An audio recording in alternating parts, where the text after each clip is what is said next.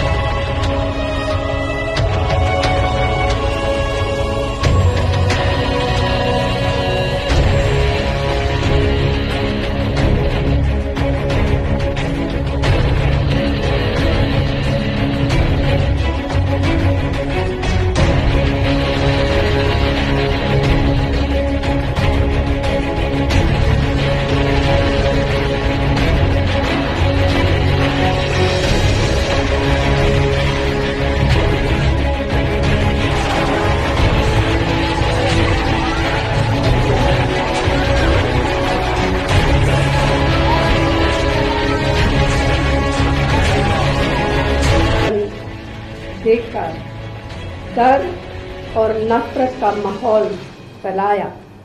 पिछले बहत्तर घंटे में केंद्र और दिल्ली सरकार द्वारा जानबूझकर कुछ कार्यवाही न करने के कारण 20 से अधिक जिंदगियाँ जा चुकी। Despite knowing that such an atmosphere was created by an incendiary speech made by next MLA BJP the government, headed by Mr. Modi and the Delhi police, deliberately failed to react. जिसने भी, चाहे वो किसी भी party का हो चाहे वो कपिल मिश्रा हो, चाहे वो कोई भी हो, जिन्होंने जिन्होंने भी प्रोवेक प्रोवोक करने वाली स्पीचेस दी हैं, वो बिल्कुल एक्सेप्टेबल नहीं है उनके अगेंस्ट भी एक्शन होना चाहिए उनके अगेंस्ट भी स्ट्रिक्ट एक्शन होना चाहिए अल्टीमेटली यहाँ पर ये जो है, अब ये पार्टी का मुद्दा नहीं रह गया ये सारे दिल्ली वासियों का मुद्दा रह गया सारे दिल्ली वासी खुश तरीके से, शांति के तरीके से